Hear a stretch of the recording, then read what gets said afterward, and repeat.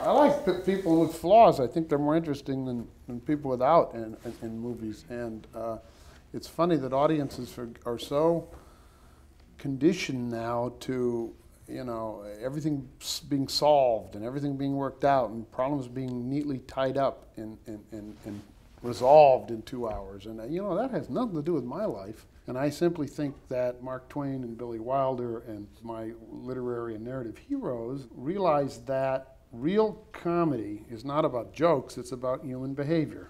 And it's based on pain. and all of these stories, when I'm writing them, I'm really thinking of the dark version. And the laughs become, if they work, the laughs become cathartic.